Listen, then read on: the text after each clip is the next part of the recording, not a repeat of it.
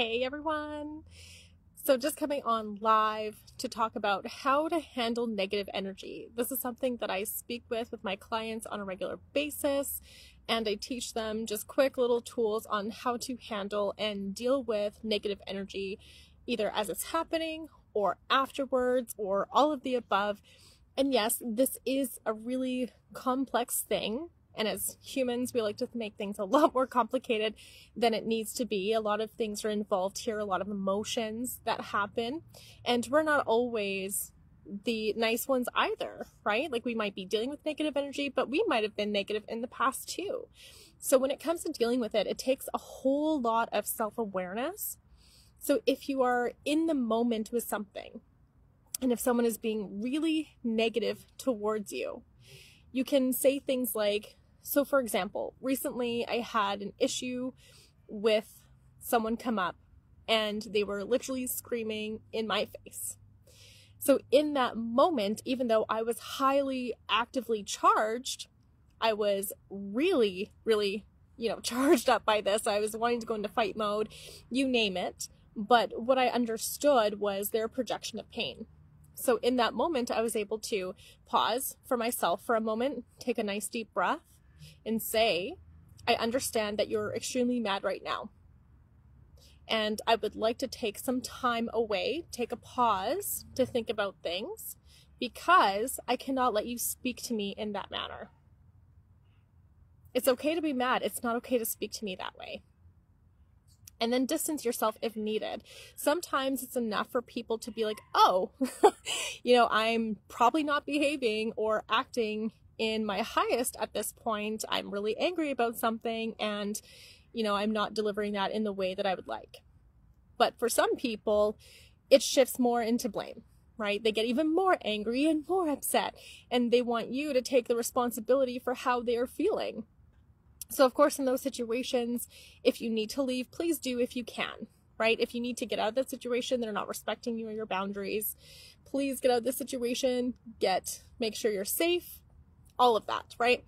But if you can, just really being in that moment, and if you're being triggered by what it is that they're doing that's really negative, then you need to spend some time in that emotion that's being triggered, right? Because sometimes you might say things like, Well, I'm always their scapegoat, right? And if you know the meaning of the scapegoat is where someone takes the responsibility for everything that's been projected onto them, right? Anything bad that goes wrong, someone projects that onto that person and makes it their responsibility. So, in that case of being a scapegoat, there's usually some sort of emotional counterpart, some sort of wound that that person might have where this is actually landing and affecting them, right? So, when we think of what that emotion is, and for me, when I went through this, it was the emotion of isolation, which is just a part of sadness, right? So, being that scapegoat, I fell into this pattern of sadness and isolation because I didn't know what else to do. I had to just accept what was being projected onto me in order to be accepted or valued, even though I was being treated like garbage. and it's crazy what our subconscious does, especially when we're young. Like what emotions we hold on to in relation to that. So for me, it was isolation and then victimization being someone's scapegoat. So for a long time, I repeated these patterns. And victimization is just the fear of being mistreated, a fear of cruel treatment, right? And a lot of times, yeah, we have been victimized, right? We have been in that state. But that doesn't mean that we're always a victim. But unfortunately, and especially with what I've gone through in life, that's how I perceive things from a subconscious point of view. It wasn't something that I was consciously doing, right? And it's not something that any of us would consciously do, nor would we want to do that if we understood that's what we were doing. So when I realized that I had this underlying massive fear about being mistreated by others, then I had to work on that wound. I actually had to feel it. And most of the time, when we get into that uncomfortable emotion, we freak out, right? We run or we want to fight it or, you know, we fawn. There's so many survival responses, well, four really, that we go into, and there's some hybrids. But that aside, we have to understand in that moment when we're really uncomfortable, that's when we need to lean in the most. And that's where most people suppress, run, fight, or something else. They distract themselves. And distractions are okay as long as it's healthy distractions. But often, what comes up when we have these emotions is that we distract ourselves with Netflix, or we distract ourselves with food, or we distract ourselves with literally anything else than actually feeling that emotion. And that's what suppresses it over time. And it's okay if you're triggered in survival mode to go do like ice water on the face or an ice pack on your neck or go for a quick walk just to clear your mind with the intention that you're coming back to that emotion. And if you never come back to that emotion, then that's how it gets suppressed, right?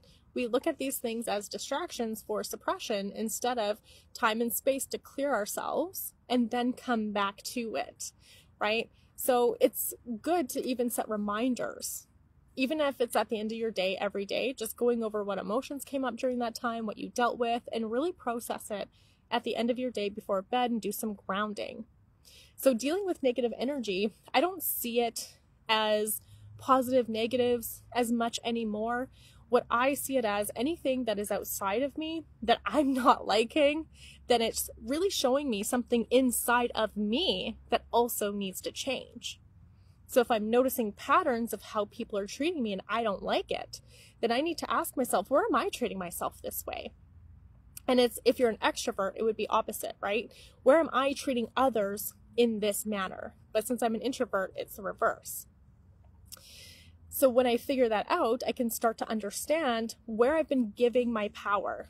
Negative energy affects us most when we feel on some level that we are powerless, right? And it's because we give them all that power over us and how we feel.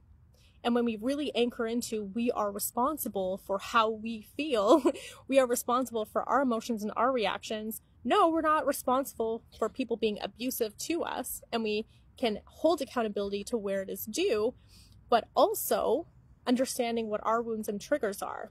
Because once you start to resolve them, you can be in the face of someone trying to project their opinion or belief onto you and you can just look at them with love and say not for me right? That's not for me. That's not okay. And doing that with love without going into that extreme like wanting to fight and rip off their head type thing or wanting to completely run and escape it 100% right? And this is where you can get to but it's understanding the wounds that are underneath. So just as a recap when you are in a position where you're viewing something as negative and it's really bothering you, one, pause and breathe. Regulate yourself as needed. But then, two, go into the emotion that you're feeling and where in the body. Give yourself time to actually be in that emotion. It will release, I promise you. Emotions are not going to stay active for the rest of your life in your system when you give them time and space. The longest I've seen an emotion take for me personally has been about a couple hours when it's at its fullest height. I might have to revisit it a couple of times because there's layers of experience under what I'm working with. But as a general rule, it maybe will take an hour or two at the absolute most. It will start to dissipate and you'll feel that, right? But feel the emotion and then afterwards, if you want to go into the logically processing and understanding why this has happened and your earliest memories of this occurring and working with that, then you absolutely can. But I encourage you that when you're dealing with your emotions at first, don't go into logically processing them in the moment because that's another distraction, a sneaky one, but it is. We can logically think our way out of anything, but not of feeling our emotions. Okay. So wait till after you felt it and it's dissipated for you to go through that cycle of understanding where it's coming from, understanding why, those sorts of things. The third thing would be to set boundaries. Once you've worked on that, you can say things like, in that situation where I was being screamed at in my face, I could say, It's fine if you're angry about something. It is completely fine if you're angry at me. But you cannot speak to me in that way. So, what can we do to de escalate this? What is the solution here? What can we do to talk about what it is that's bothering you, but in a respectful way for us both and find solutions that suit us both? This is a part of boundary work. And I've been talking about this for years with my clients on speaking this way. It's also called nonviolent communication. So if you want to look that up, you can. It's also in the file section here, actually, under NVC. And it'll give you a flow sheet of how to address scenarios that are really hurtful without blaming and projecting that onto another person. And this is hard work. This work isn't for everyone. I wish it was. I wish everyone would do this work, but just the nature of what we're doing here. A lot of people on this planet are still mostly unconscious. And that's okay. It's not a judgment.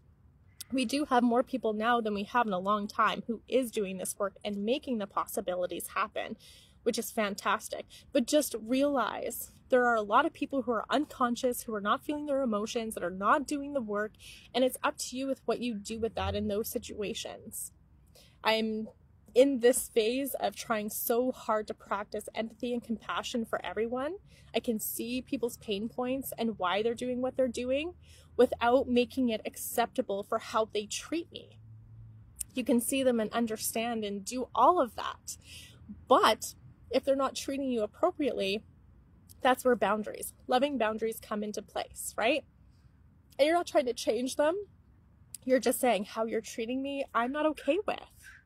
This is how I would love to be loved. It's not an electric fence, guys. We're not out there cutting people out and trying to push them away. The more that you can work with this stuff and not run from it or just get into automatic fight mode around it. And obviously, it's okay. All emotions are welcome but it is necessary to actually work with these things. Otherwise, if you don't, what's going to happen is that you're going to keep seeing the same loops, the same patterns, maybe different people, different faces, different places, but literally the same thing over and over and over until you really address what's in here around it. It is so important to do. A lot of us have mother wounds, father wounds, family wounds, friendship wounds, sister wounds, you know, God wounds, all the wounds they're there. So it is important to start addressing them. And please make sure you do have support as you do, though, but catch your blame and judgment because that's where we get into separation consciousness, is where we think it's us against the world, right? Or everyone against each other, or there's no unity. We have to make that space available. And when we do, it's up to the other person to choose it or not. So if they don't choose it, don't be like, oh, Cassandra, this doesn't work. no, you're giving them an opportunity and a choice to elevate themselves or not. And if they choose not to, but you're on that path of growth, excellent, good. This is people weeding themselves out and it will happen. Crumbling will happen. And that's what most people are afraid of, but you have to really detach from that outcome. You have to detach from being so connected to something in that way and know that things can fall apart at times and it will have to. Sometimes it absolutely has to so that it can come back if it's meant to, if repair is available to happen. So if nothing is happening and conversations are going nowhere and you've started distancing yourself, then that is fantastic too. It's hard and I feel you. It hurts. I've gone through this so much in my life, not just with friends, but with family even you know, so I get the pain that's underneath it.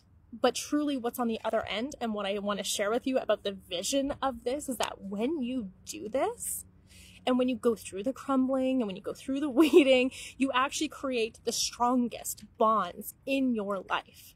The strongest connections, the strongest relationships, the strongest friendships, the strongest business dynamics, right?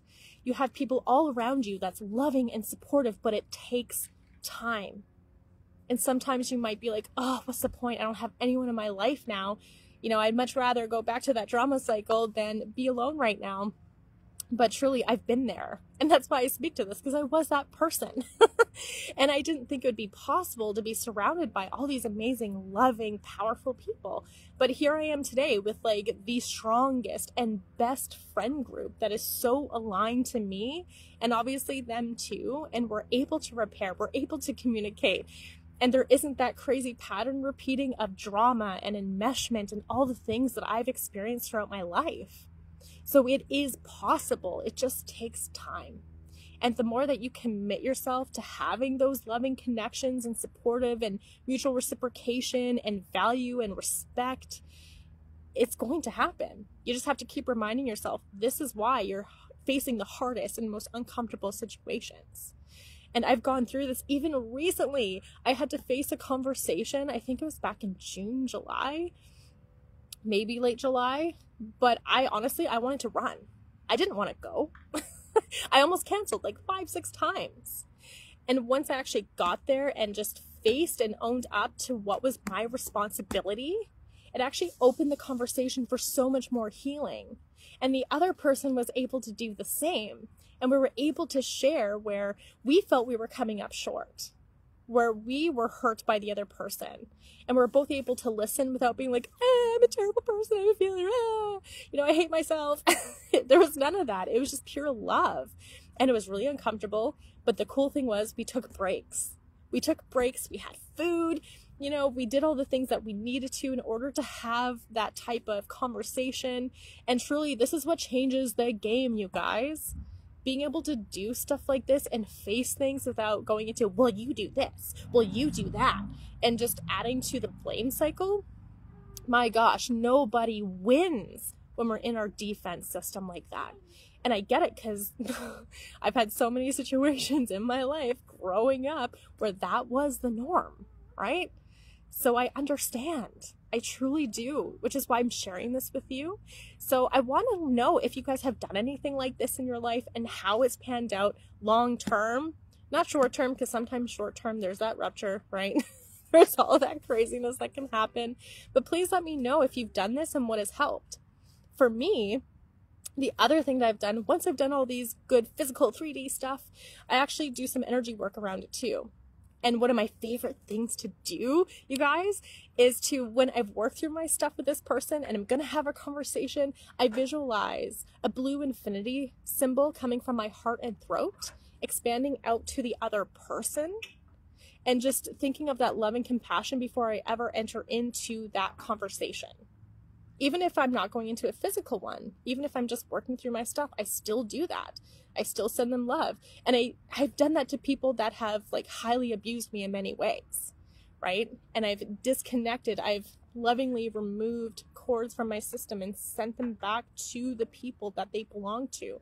So on the energetic scale, this is another thing you can do is do that cord removal process. Please don't cut cords. Like if it resonates with you, great do whatever is right for you. But for me personally, cutting cords means you're leaving the root. The wound is not addressed. Nothing is addressed.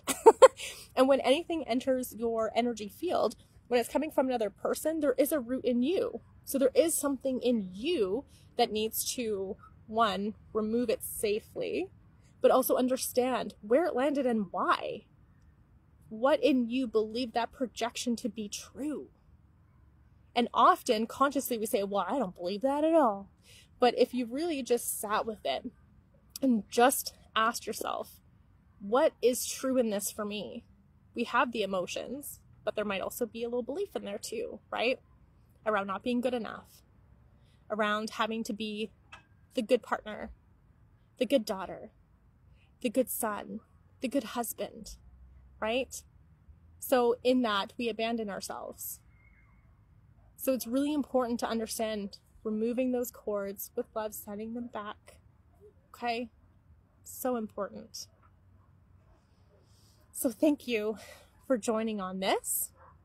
And if you have any questions about it, please let me know. But add in the comments what you've done that have worked for you. If there's other styles that have been great, I would love for everyone to hear it because it's so important when we come together to figure it out. And I love the energetics. So if you would like some assistance in the energetics, let me know. But I also have my cord removal technique as well if you're ever interested, and that is $30 and it's about an hour of your time. And it's something you have lifetime access to. And it shows you how to do that. But also remember that with other people projecting and you removing stuff, you've also projected onto people in your life too. Okay? None of us have come unscathed in this life. So remember, as you're removing cords, maybe to unplug the cords that you've sent out as well, right? And it's all just beautiful learning.